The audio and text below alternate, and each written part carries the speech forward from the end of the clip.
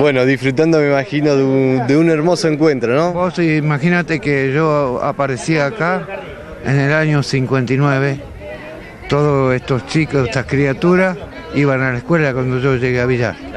Es una gran emoción, viste, muy lindo. Es saber recordar de el sueldo del ferrocarril y los, y los dos pesos para el Club Unión Ferroviaria. Armarlo, viste, haber bailado infinidad de veces, qué sé yo, todo, todo muy lindo. ¿Hoy estás viviendo en Marcos Paz? Yo vivo en Marcos Paz, sí, sí. Y conozco toda la gente de RCO, Recaire, el Negro Monje, todas las alhajas de la radio, el de la cera, que no me acuerdo, el, el de lente. Marchi. Marchi, el gran pirata, ¿viste? Bueno, me imagino Bueno. las anécdotas, ¿no? Que aparecieron hoy en la mesa. No, hay muchas, hay Un muchas. montón de anécdotas. Yo me crié en Villar hasta el año 73 más o menos. Después tuve que emigrar. Y bueno, recuerdo el ferrocarril, los carros, la escuela, mi directora, Iris Mabel Echegaray, que ya creo que no vive, General La Cera, los partidos de fútbol, los amigos, mi colegio, mi maestra, Blanquita Alan, Decir y te apellido. digo, El apellido tuyo. el apellido mío es Ambrosio José Fernando.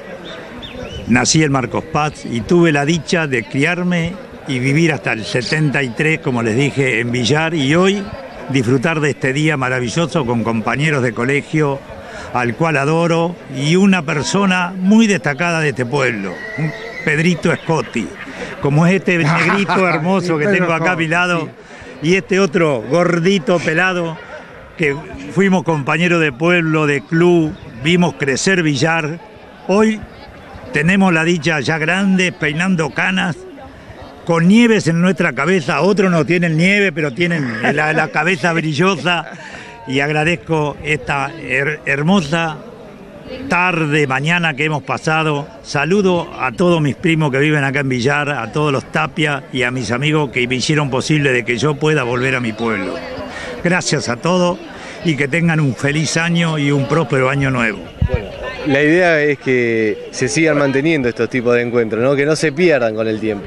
Y es la idea, por eh, suerte, tenemos un grupo de gente que, que lucha para que esto siga adelante. Yo, por distintas cosas de la vida, eh, no pude venir en años anteriores, Pero hoy está. pero hoy, estoy, gracias a Dios.